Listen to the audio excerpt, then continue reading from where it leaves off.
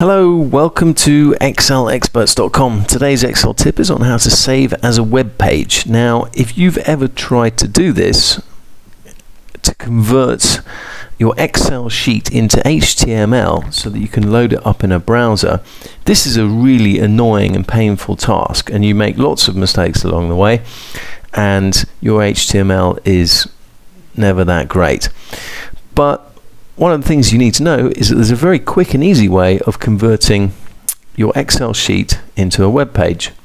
And that is press the Office button, save as, choose other formats, and click web page. This will save it as save as web page.htm. Um, so I've already saved that.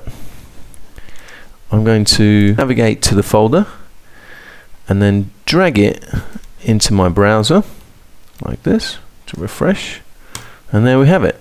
So our data has now gone from the spreadsheet into a browser.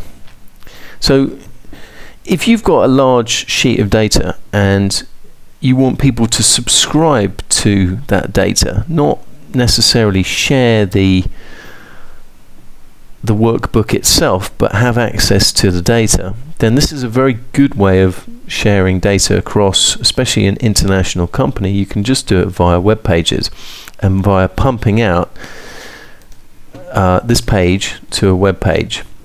And that avoids a lot of the problems of file sharing and, and saving and getting data across. So if you periodically pump this data out and people refresh their browsers, then uh, then it's a good way of sharing data.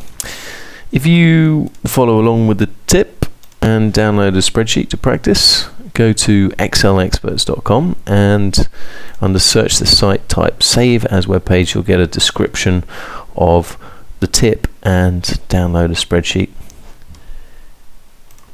You've been listening to excelexperts.com. Thanks for listening.